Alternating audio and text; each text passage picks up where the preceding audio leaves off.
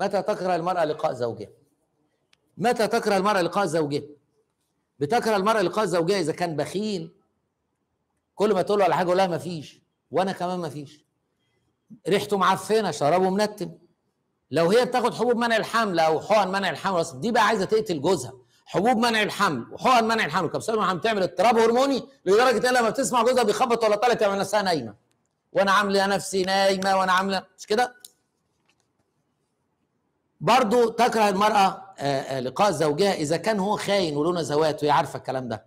بس في زوجة يعني مش عايز أقول ربنا ينتقم منها عارفة إن جوزها بيزني وبيشرب مخدرات وهي راضية. تفتكر الزوجة دي هتروح فين داهية طيب إذا كان الزوج سريع القذف كل ما بيقرب بيقذف بسرعة هتكرهه؟ يا عم بلاها الموضوع. لأنه إذا كان الزوج يشبع وحده ولا يترك للزوجة أن تشبع طب ما أنت بتقرفني ليه؟ يبقى لابد أن تترك الزوجة تشبع. إذا كان الزوج جسمه تقيل وكرشه كبير ودي مشكلة كبيرة جدا إن يجي لك واحد بطنه قد كده أهو وبعدين كان عايز مقوي جنسي مقوي جنسي يقول أنا فرقع لك أجيب قنبله الأول وفرقع لك الكرش وبعد كده نتفاهم. نعم.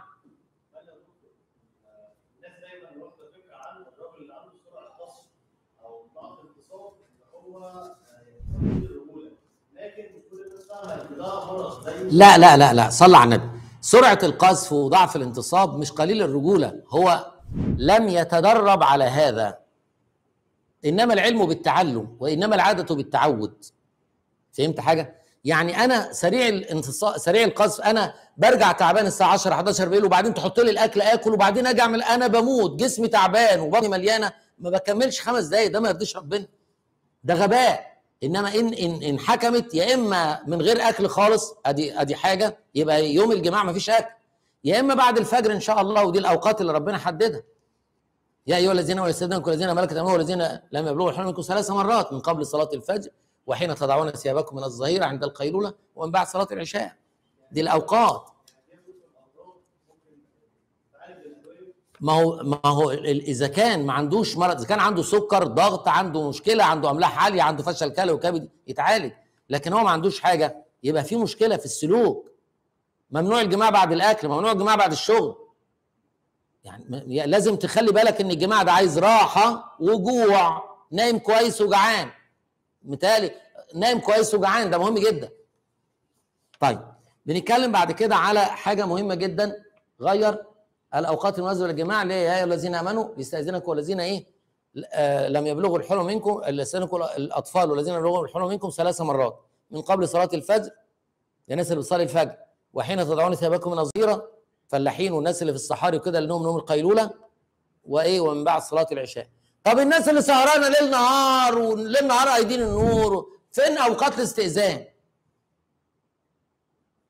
ده انت ده انت عملت الليل نهار ونهار ليل استاذن فين أنا واعمل إيه؟ غير. عندنا بعد كده حفظ العورات عن ابناء طبعا المفروض إنه في الشرع عندنا سرير للزوج وسرير للزوجة وسرير للولد وكل ما يجي ولد بعمله سرير البنات لها أوضة والصبيان لها أوضة وفي سرير للضيف. ده شرع ربنا كده. لكن إحنا بنخش في أوضتين وصالة أو أوضة وصالة أو أوضة في شقة الوالد مثلا. فين بقى سرير الزوج وسرير الزوجة؟ إحنا اوضه النوم بتاعتنا بنجيبها بسرير واحد. صح. يعني السادة بتوع الموبيليا بيديك أوضة بسرير واحد.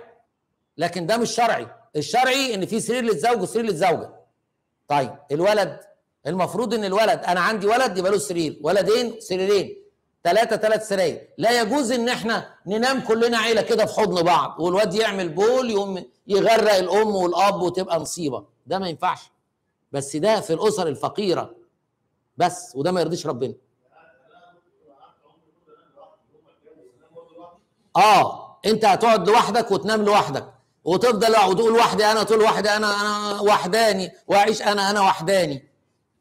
عشان تبقى حر برضه تعمل غازات أنابيز براحتك يعني ولا إيه؟ ولا تعرف الناس؟ مش الحالات الشرع كده. هو الزوج ما بينامش غير الزوجه عن عند الجماع. المصيبة إن إحنا ورثنا عادات أوروبية غربية. لازم الزوج جنب زوجته هو.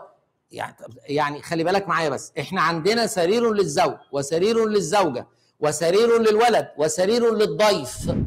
لازم كمان أعمل حساب السرير ماما جت حماتي جت مش هسيب لهم السرير بتاعه وانام في الحمام.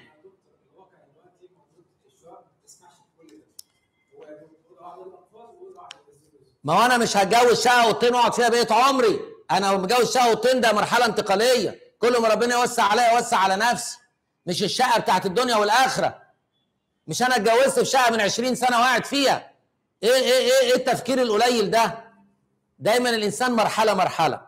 النهارده في أوضتين بكرة إن شاء الله بعد خمس ست سنين عندي ولدين بنتين هنقل في ثلاثة بعد ما بقى عن ثلاث أربع عيال هنقل في فيلا. بعد كده هعمل آه، كام فدان. كده يعني. ولا هتفضل طول عمرك كده. في ناس ما عندهاش طموح. لا ما كانش عنده سرير أصلا. النبي ما كانش عنده سراير. بس عشان إيه؟ خلي بالك معايا. لما نيجي نتكلم على حاجة لقد كان لكم في أسوة حسنة ما كانش عنده سراير ولا سرير ولا دولاب ولا شوفونيرة. خدت بالك؟ أنا لما رحت عشان أتجوز فبقول لأهل العروسة إن أنا هنام على الأرض زي النبي وهعلق هدومي على مسامير في الحيطة وبتاع. فقالوا لي طب السجاد طب النجف طب ال- الميكرويف طب يعني كلام كبير كده. فانا قلت لهم لا سنة النبي فقالوا لا سنة النبي ما تنفعش دلوقتي هتحط هدومك فين؟ هدوم علقها على على مسامير ينفع اعلق على هدوم مسامير فالدولاب اصبح ضرورة ولا إيه؟ والسرير يعني اجسامنا آه أنا دلوقتي بنام على السيراميك بس عشان الصيف لكن في الشتاء صعب ولا إيه؟ مش كده؟ وبعدين يعني إيه يعني لما يبقى لك عندك سرير واثنين وثلاثه تعبت من السرير ده رحت ثاني تعبت من إيه المشكلة يعني؟ إنما هو ده يتنام هنا في الحمام؟ ما ينفعش وبعدين لما يتخانقوا مع بعض طيب الزوج هينام فين؟ على الكنبة؟ نعم.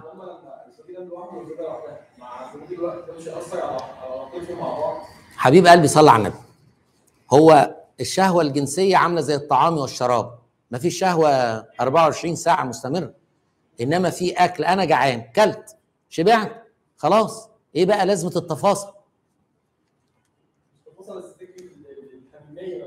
الحميميه مش اللزقة. ده هو بيقول لك يعني حتى لو أنت عندك أجازة ما ينفعش تقعد مع مراتك ليل نهار. يعني يقول لك إيه؟ روح صلي وسيب الزوجة تقلي تخش تسرح تعمل. ابعد شوية ابعد. زور غبا تزداد حبا ابعد حبة. أما تروح الشغل وترجع نوحش بعض. لكن بعد سن المعاش ها؟ والراجل قاعد معاش والست معاش وقاعدين كده في وش بعض. إيه ده؟ ها؟ إيه اللي عندنا تاني؟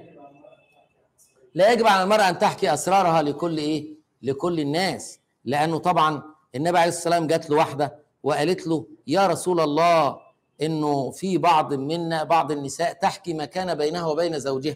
فقال النبي صلى الله عليه وسلم إن مثلها كمثل رجل واقع امرأة على قارعة الطريق وجعل الناس ينظرون إليهما. ما ينفعش يا جماعة. ما ينفعش تقول أسرار بينك وبين زوجتك لحد. وما ينفعش تقول ده أنا قوي وأنا بعمل وأنا يعني كده العين حق. الناس كلها عندها سرعة قذف أنت هتقعد تقول أنا بعمل ما ينفعش كده يعني ولا إيه؟ يعني 90% من الرجالة لاسع فما تجيش أنت تقول أنا كذا وكذا. إنما تقول دايما إحنا في خناق و... وأنا بضربها وهي بتضربني وأنا بنطحها وهي بتنطحني ولقاء أصحاب الكروش لما يبقى الراجل بكرش والست بكرش يقول لك لقاء الأفيال. طيب يبقى مهم جدا إحنا ما نقعدش نحكي عن الأشياء لأن حكايتها غلط.